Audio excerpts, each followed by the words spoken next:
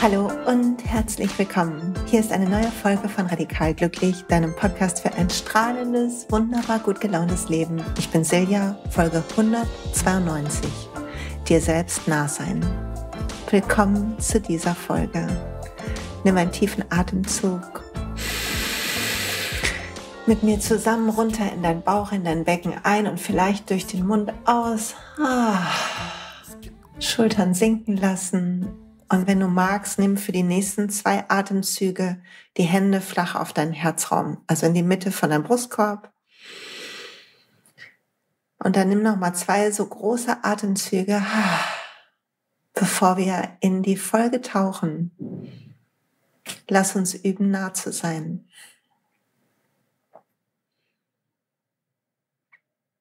Und vielleicht kannst du schon spüren von dieser kleinen Übung, du kannst die Hände auf dem Herzen lassen, wenn es dir weiter gut tut, sonst lässt du sie sinken. Aber vielleicht kannst du fühlen, und du weißt es mit Sicherheit schon längst, dass wenn wir kleine Mini-Pausen einbauen in unser Leben, in unseren Alltag, in unsere Gedanken, dann haben wir eine andere Nähe, eine andere Intimität mit uns selbst. Und darüber will ich heute ein bisschen mit dir sprechen. Warum ist das gerade mein Thema? Vielleicht kennst du das, was ich erzählen werde, auch. Warum glaube ich, dass wir in diese Intimität eintauchen dürfen und was hält uns innerlich ab davon? Es sind mehrere Faktoren, die uns rausziehen wollen aus dieser inneren Nähe. Und das hat was damit zu tun, nach welchen Regeln wir leben und wie wir konditioniert sind in dieser Gesellschaft, in dieser Welt, die schnell ist und wild. Also atme durch und freu dich über eine kleine Pause. Und bevor ich in die Podcast-Folge tiefer eintauche, will ich direkt zwei Termine nennen. Am Anfang vom Dezember ist der nächste Introabend zum Thema ätherische Öle, weil, vielleicht kannst du so lange warten, wenn nicht, das ist das Geräusch, was ich sehr liebe. Ich habe einen Roller aufgemacht und den gebe ich mir jetzt gerade auf meine Pulspunkte und ein bisschen auf meinen Hals. Und atme den Geruch ein von dieser wunderbaren Essenz, die da drin ist. Ich habe gerade aufgetragen das Öl Magnolia, was heute, heute ist Vollmond, gleich ist Mondfinsternis und Vollmond, wo ich diesen Podcast aufnehme. Und ich fühle nach diesen wilden Eclipse-Tagen mich so durchgerüttelt, dass ich für einen ruhigen, sanften Podcast, den ich aufnehmen möchte, ein Öl brauche, was mir einen Raum innerer Weite leichter macht zu erreichen. Von Weisheit und Verstehen. Davon handelt Magnolia. Es ist so ein bisschen das Öl und so wie mit so einer Großmutter Weisheit.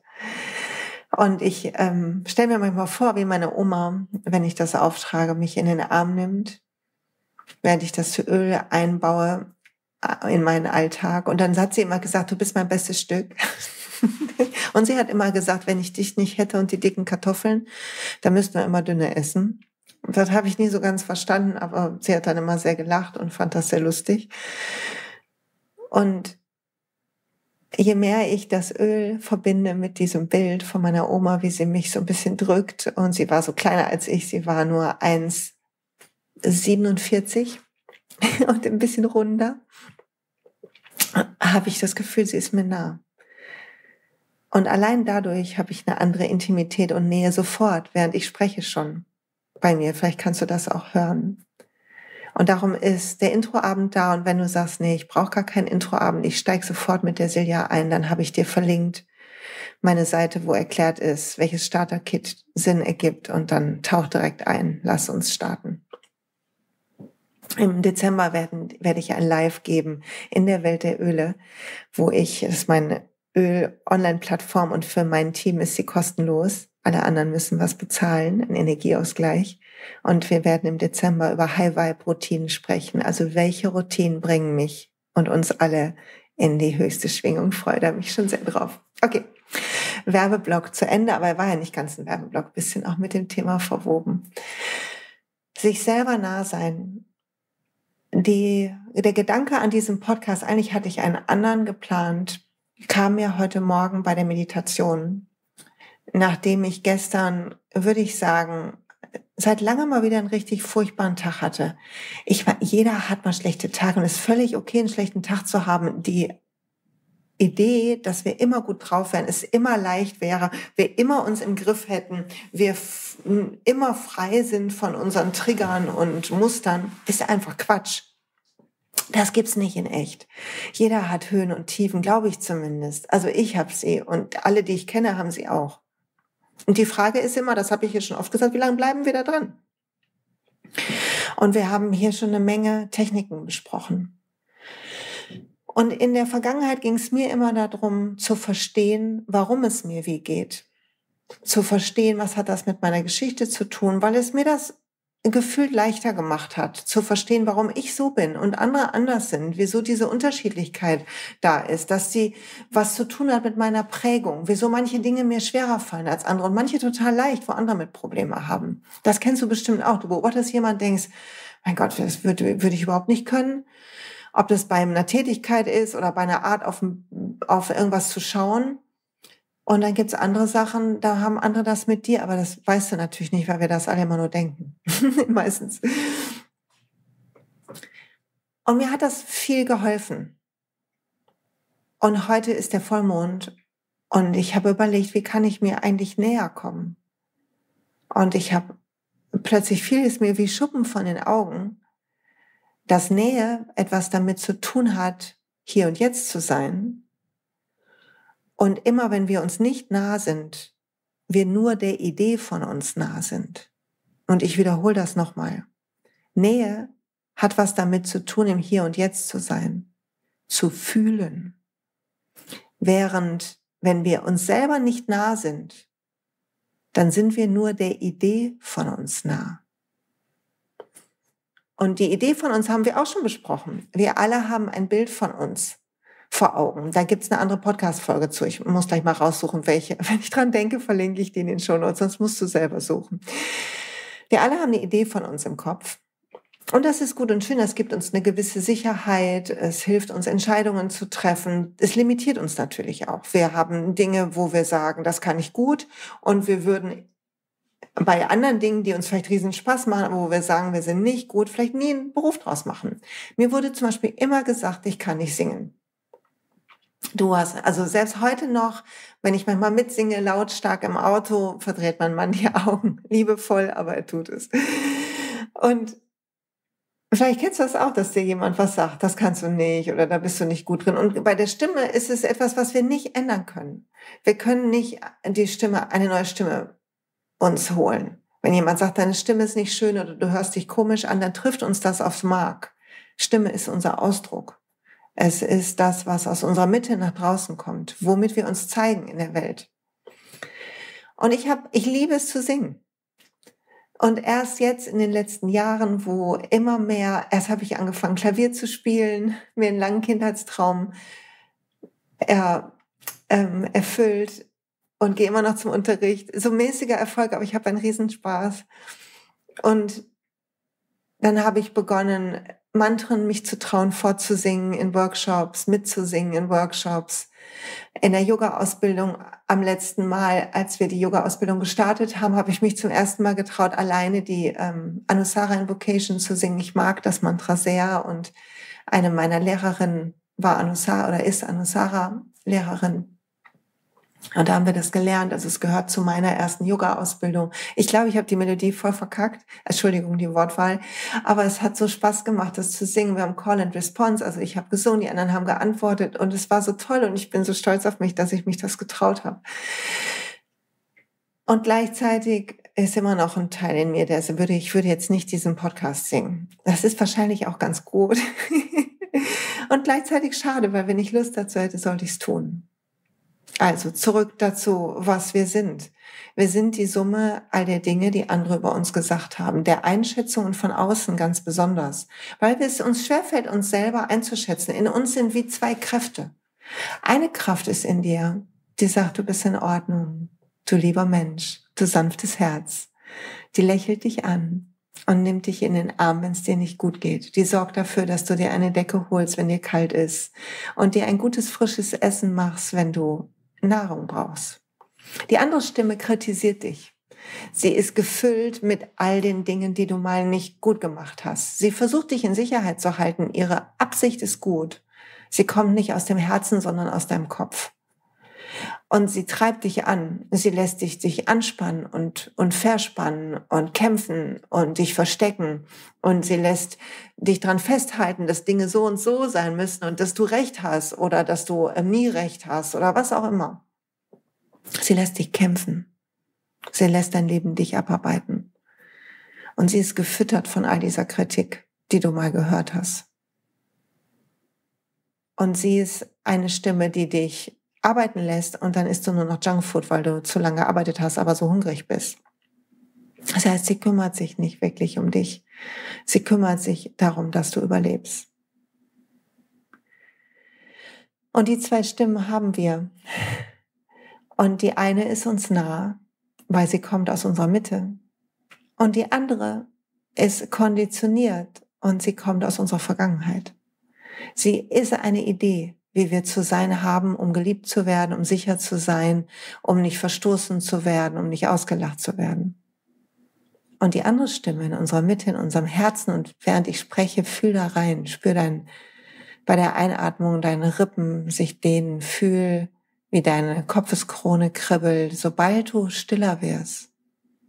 Sobald du dich traust, stiller zu werden, wir alle, ist ein Gefühl da für uns selbst ist ein Bewusstsein da für uns. Für das, was wir sind, mehr als noch alles andere. Und alle Ideen, die du von dir hattest, wie du dachtest, wie du sein müsstest, verblassen. Für diesen kleinen Augenblick. Und hier kommt das, was es schwierig macht, sich immer nah zu sein. Dein Kopf hat die Aufgabe, dich sicher zu halten. Das heißt, er tut alles, damit du dich nicht ganz entspannst. Er tut alles, damit ich mich nicht ganz entspanne. Damit ich nicht nur in meinem Herzen bin. Dabei ist mein Herz mega. Es warnt mich, es zeigt mir, wo ich mich öffnen kann. Es ist okay. Aus dem Herzen leben heißt nicht, habe ich gerade gelernt, jedem zu vertrauen. Es heißt hineinzufühlen, ob du vertrauen willst und da, wo du nicht vertrauen willst, offen zu bleiben und das Vertrauen erarbeiten zu lassen. Es ist okay, auf der Hut zu sein. Es ist okay, dich zu schützen. Es ist okay, Nein zu sagen. Es ist okay, Momente für dich zu haben. Ohne schlechtes Gewissen. Du kannst nur du selber sein, wenn du die dir nimmst. Du kannst, wir alle können nur wir selber sein, wenn wir lernen, uns zu fühlen. Und zurück zu der Nähe zu uns. Ich habe erkannt, dass die Zeit abgelaufen ist von dem mich beschäftigen mit meiner Geschichte. Es ist völlig okay, weiterhin Gefühle rauszulassen. Ich liebe meine Atemmeditation, die ich in dem Fülle-Finden-Programm geteilt habe und die es verkürzt auch als ähm, Meet Yourself Atemmeditation im Podcast gibt. Wenn ich dran denke, verlinke ich die und dann muss ich manchmal so weinen oder manchmal werde ich ganz wütend und ich möchte in die Luft boxen, das mache ich dann auch, oder schreien, das mache ich dann auch in so einem Kissen. Und es tut so gut, all das, was in uns gespeichert ist, rauszulassen. Und wir müssen es immer wieder tun, weil wir immer wieder Sachen aufnehmen, auch von anderen. Je mehr wir aufwachen zu unserer Mitte, zu unserem wahren Selbst, zu dem Glücksplaneten in uns, je mehr wir uns verbinden mit den Energien, umso empfänglicher werden wir für Energien, umso wichtiger ist es, sich zu schützen und abzugrenzen, umso wichtiger ist es, immer wieder einen Atemzug zu nehmen, die Mitte zu fühlen. Und ich stelle mir dann vor, dass ich wie in so einem goldenen Ei aus Licht bin. so ein Licht, so ein Lichtei, wo alles andere dran abprallt und zurück zum Sender geht. Nicht, weil ich gemein bin, sondern weil nur wir mit unserer eigenen Energie etwas anfangen können. Nur wir können verstehen, was heilen muss.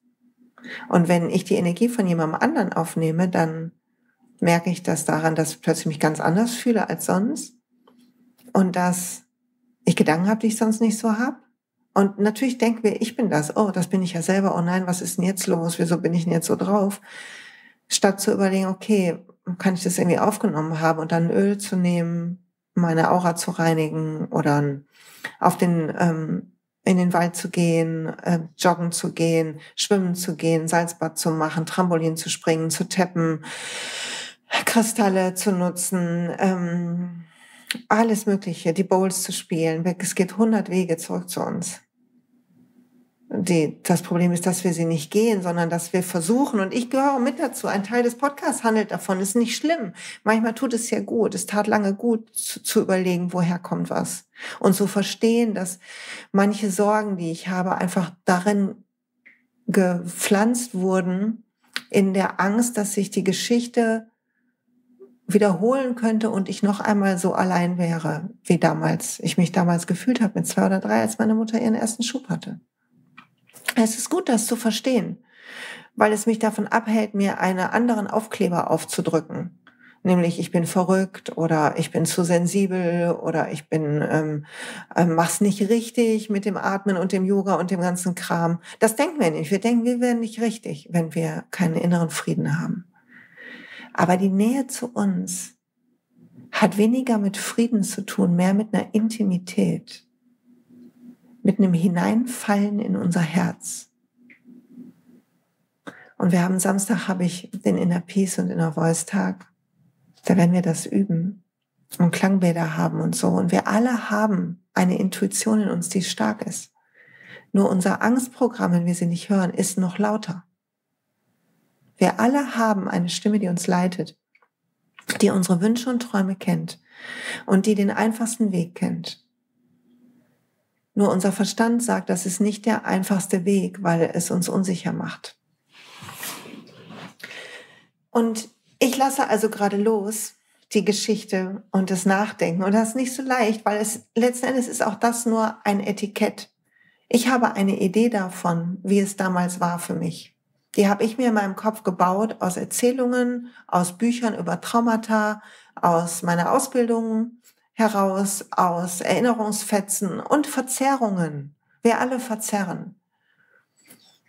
Und was es macht aber ist, dass ich denke, ich habe was wirklich Schlimmes erlebt. Und das ist wie etwas, was mich zurückhält. Und wir haben ja schon mal über Vergebung gesprochen. Vergebung ist das Akzeptieren von dem, was ist. Und dem Leben vergeben bedeutet zu sagen, und so war es, und das ist okay.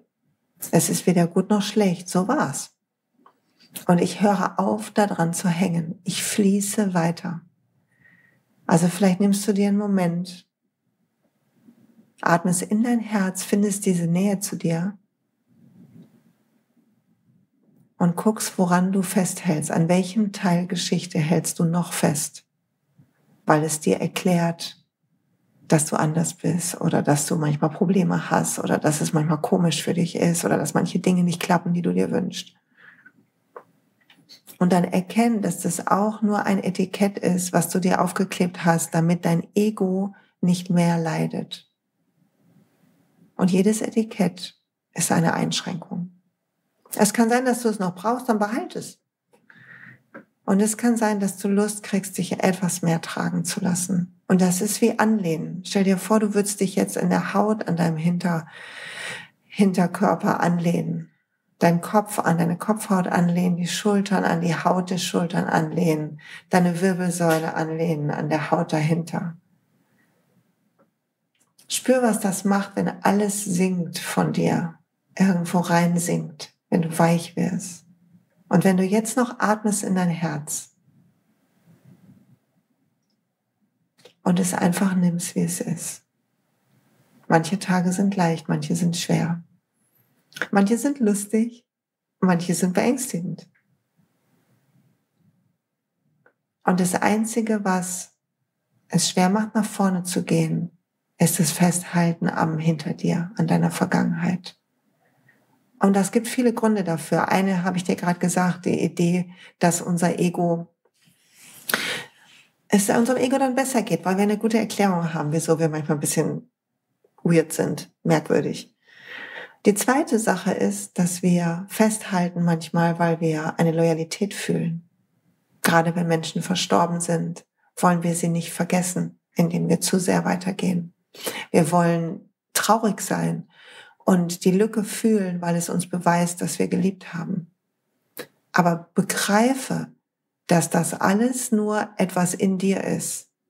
Eine Idee in dir, Liebe zu fühlen. Eine Idee in dir, dir zu beweisen, dass du ein guter Mensch bist und nicht vergisst. Wir vergessen nie, alles bleibt da. Aber wie gut wäre es, wenn wir nach vorne gehen. Was immer das heißt, den Tag umarmen heißt es. Hier sein jetzt. Nähe zu unserer Seele zulassen, zu unserem wahren Selbst, in den Moment tauchen. Und abgesehen von dieser Loyalität und unserem Ego kann es auch sein, dass wir Angst kriegen. Ich hatte mich total vertüdelt innerlich. Die Geschichte mit meiner Mutter die lasse ich los. Seit ich in den Wechseljahren bin, ist es wie ein Katalysator. Es ist so krass, was alles rauskommt an Emotionen, an Gefühlen. Und ich fühle mich leichter und freier an vielen Tagen. Ich fühle, dass ich mehr Handlungsspielraum habe. Und dann habe ich hier schon erzählt, dass ich ein bisschen traurig bin. Eine meiner Freundinnen ist weggezogen. Andere sind noch hier, was super ist. Und Ah, manchmal wünsche ich mir jemanden zum Kaffee trinken und über Kristalle, Bowls und Yoga quatschen. Hier in Duisburg um die Ecke. Und ähm, das ist völlig okay, dass, ähm, dass, dass, dass da nicht jemand ständig on hold ist, um zu springen mit mir. Und ich habe einen großen Freundeskreis und das macht Spaß. Trotzdem habe ich mich verrannt gehabt in die Idee davon, dass ich anders bin und ein bisschen so stark vertaut noch mit meiner Vergangenheit und dass es mich deshalb, dass ich deshalb kompliziert bin und schwierig und dass deshalb Leute sich von mir abdrehen. So, das ist schön beknackt, oder? Also ich muss, wenn ich es jetzt so offen ausspreche, denke ich, das ist richtig beknackt. Aber ich war da drin vertaut jetzt für einige Monate, ohne dass ich es gesehen habe. Und und ich habe halt dann auch noch gedacht, ich darf jetzt auch nicht zu viel loslassen, also es wird noch absurder. Ich darf nicht zu viel loslassen von meiner Vergangenheit, weil dann bin ich noch anders, mehr anders, als die Leute sind ja alle vertaut mit ihrer Vergangenheit. Alle haben ja Probleme mit ihrer Vergangenheit. Was, glaube ich, meiner Arbeit geschuldet ist, dass ich das denke, weil ich als Coach ja so viel mit so Leuten zu tun habe. Und wann nehme ich mir einen Coach, wenn ich gerade irgendwie feststecke? Warum hänge ich fest? Weil Altes wie Neues mich blockiert. Muss nicht immer alt sein. Er darf auch mal neu sein. Und das alles weiß ich jetzt erst in der Retrospektive, weil rund um diese Tage vor diesem Vollmond war ich so schlecht drauf und so wütend und habe hier Sport gemacht und geweint und geschrien und geatmet und meditiert und es war richtig was los ins Salzbad. Dann ging es wieder für ein, zwei Tage besser, weil ich gut abgelenkt war. Am Wochenende war meine ganze Familie hier, also juhu, yay, wir viel Spaß gehabt zusammen. Und Montag war ich so was von, mein Gott, war ich schlecht drauf. Und dann habe ich mit meinem Coach drüber gesprochen und sie sagte nur, Okay, erzähl mal, was du gerade so denkst. Und dann habe ich die Sachen ausgesprochen, die ich gerade gedacht, gesagt habe. Und beim Aussprechen dachte ich schon so, war dein Quatsch? Und es ist völlig egal, wo das herkommt. Es ist einfach eine Geschichte, die mein Kopf sich ausgedacht hat, wegen des Etikettes, dass ich mal was Schlimmes erlebt habe. Also wenn du wissen willst, was dein Kopf für lustige Sachen macht, dann in einem ruhigen Moment, nicht wenn du richtig schlecht drauf bist, sondern in so einem neutralen Moment, setz dich mal hin, sag, okay, das ist mir Schlimmes passiert und dann schreib mal auf die Regeln, wie, die du benutzt. Also und darum achte ich da drauf und darum ist das für mich schwierig und darum ist das für mich schwierig. Und das alles, was du aufschreibst, kannst du eigentlich durchstreichen. Es ist eine Illusion von deinem Kopf aus den Gründen, die ich gerade genannt habe. Und es hat nichts mit uns selbst Nahsein zu tun. Es hat etwas damit zu tun, den wilden Gewächsen unseres Verstandes nahe zu sein, der die Vergangenheit in unsere Zukunft projiziert. der immer die Informationen nimmt, wie so eine Rechenmaschine, die er schon hat, um daraus was Neues zusammenzumixen. Es hat nichts mit Nähe zu tun. Es ist ein großes Missverständnis, dass Selbstreflexion gleich Nähe ist. Selbstreflexion bedeutet nichts anderes als ein Bewusstsein über mein Handeln und Denken. Und die entscheidende Frage für Nähe ist, was mache ich daraus? Lasse ich einfach los und fließe zurück in den Moment und fühle mich? Da ist die Nähe. Oder steige ich ein in meinen Kopf, erkläre mir, suche äh, Ausreden, suche Dinge, die ich machen kann, mache einen wilden Plan, wie es beim nächsten Mal klappt, was immer. Das tut auch mal gut. Bitte missversteh mich nicht. Das tut auch mal gut. Aber ich kann nur sagen, ich war da ziemlich fest drin, ver, verhakt. Und das tut nicht gut. Und ich habe die Nähe verloren. Ein paar Tage lang. Und das war beängstigend. Richtig beängstigend. Ganz verrückt war das. Und je mehr ich die Nähe verloren habe, umso ängstlicher wurde ich, umso mehr war ich in meinem Kopf, weil Angst triggert den Verstand, nicht das Herz. Das Herz hat keine Angst. Nur der Kopf hat Angst. Der Kopf hat Angst, weil er in der Vergangenheit sich gemerkt hat, tat mal was weh. Interessant ist, das, was weh tat, hat dich nicht umgebracht, sondern hat sich nur blöd angefühlt. Das heißt, ein Großteil unseres Handelns ist Vermeidung von vergangenen Wiederholungen. Meine Mutter kann mich nicht nochmal verlassen. Wie soll das gehen?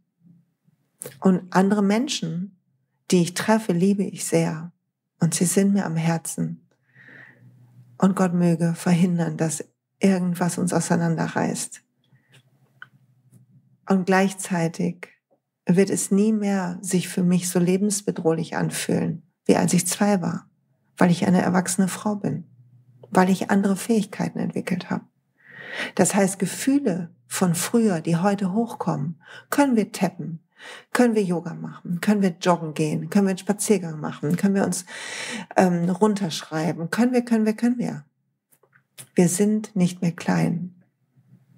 Und die Nähe kommt, wenn wir aufhören, uns mit früher zu identifizieren und mehr Zeit im Jetzt verbringen mehr Zeit, uns zuzuhören, unseren inneren Dialog zu verändern, mehr Zeit zu fühlen, was will ich essen? Bin ich satt? Was will ich tun? Wie will ich das sagen? Wann will ich schlafen? Je näher wir uns sind, umso mehr entfernen wir uns von den Regeln, an die wir uns halten. Regeln kommen aus dem Kopf. Je näher wir uns sind, umso mehr entfernen wir uns von gesellschaftlichen Narrativen, an die wir glauben. Und auch von eigenen Glaubenssätzen. Von wie Dinge zu sein haben, wie wir dachten, wie es wird. Unser Kopf macht so viel Quatsch. Und wir brauchen kleine Brücken in den Moment. Aber deshalb ist übrigens einer der Gründe, mal abgesehen von der körperlichen Wirkung, weshalb ich auf diese Öle so abfahre. Weil ich sie mir nehmen kann und sofort über das Riechen im Moment bin. Sofort. Es geht gar nicht anders. Und manche reinigen meine Energie, manche beschwichtigen mich, manche helfen mir vergeben, manche erden mich, manche beleben mich, manche machen mir gute Laune und so weiter und so fort. So sieht's aus. Sich selber nah sein. Hat was damit zu tun, den Kopf leise zu machen, ins Herz zu gehen. Weil fühlen ist die Sprache des Herzens. Wir müssen fühlen, nicht denken. Fühlen, nicht denken. Wie fühle ich mich? Nicht was denke ich, ist die Frage. Wie fühle ich mich? Oh, ich hoffe, der Impuls tut dir gut und du nimmst ihn mit in die Woche. Und ich hoffe, wir sehen uns irgendwann in den nächsten ein, zwei Wochen wird das Magic zu kaufen sein, mein Jahresabschlussprogramm. Es wird wieder zwei Lives geben. Die stehen dann auf der Seite. Natürlich werden die auf, ähm, aufgezeichnet. Und ähm, ich freue mich total, wenn die Leute, die dabei waren beim letzten Mal, vielleicht wieder Lust haben mitzumachen. Ihr seid kostenfrei mit dabei. Und wenn es ruft, mit mir das alte Jahr loszulassen, sich auszurichten auf ein traumhaftes, weites, wunderbares 23. Dann Augen offen halten. Ich werde es posten. Und am 18.12. in Duisburg ist die letzte Soul Session in diesem Jahr. Klang, ein bisschen Öl, Meditation, ein bisschen Coaching, ganz sanftes Yoga. Das Thema ist Liebe, das Herz öffnen für uns und andere. Ich freue mich drauf. Und ich will noch was zum Abschluss sagen. Ich schreibe gerade das Buch und bin gerade zu, in einem Kapitel, wo es um Kommunikation geht und habe ein altes Buch in die Hand genommen von Virginia Satir. Das ist eine Therapeutin gewesen. Und ähm, ich glaube, sie, ich glaube, sie lebt nicht mehr. Ich weiß es gar nicht, aber ja. Ähm, warte, ich guck mal rein in das Buch, ob das da steht. nee. Auf jeden Fall geht es um persönliche Ziele wenn wir in Kommunikation sind. Und ich finde, wenn wir uns nah sind, können wir die besser erreichen. Ich möchte dich lieben, ohne mich anzuklammern, dich schätzen, ohne dich zu bewerten, mit dir zusammen sein, ohne deine Grenzen zu verletzen, dich einladen, ohne von dir zu fordern, dich verlassen, ohne Schuldgefühle zu bekommen, dich kritisieren, ohne anzuklagen, dir helfen, ohne dich zu beleidigen. Wenn ich das Gleiche auch von dir bekommen kann, dann können wir uns wirklich begegnen und uns gegenseitig bereichern. Und als ich das gelesen habe, dachte ich, das ist Nähe zu sich, wenn wir so mit uns sind. Wenn wir uns nicht an was klammern, sondern uns lieben. Wenn wir uns schätzen, statt uns zu bewerten.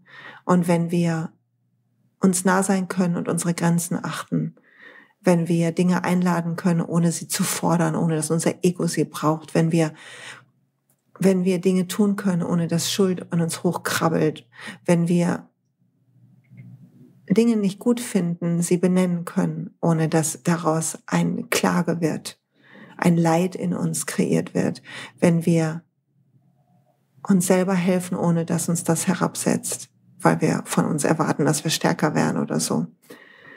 Und dann können wir auf andere auch so zugehen. Das Gedicht ist ähm, aus dem Buch Mein Weg zu dir. Ich verlinke das in den Show Notes. Hab eine feine Woche. Ich freue mich, wenn du die Folge teilst. Ich freue mich, wenn du mir irgendwie mich text auf Instagram, wenn sie dir gefallen hat. Ich freue mich sehr, wenn du mir eine Rezension schreibst. Du musst einfach auf iTunes gehen, die App runterladen oder auf die Seite gehen und dann radikal glücklich eine Bewertung schreiben. Sterne vergeben kannst du auch auf Spotify, freue mich auch riesig. Und ich sage danke fürs Hiersein. Sei dir nah, atme tief. Bis bald.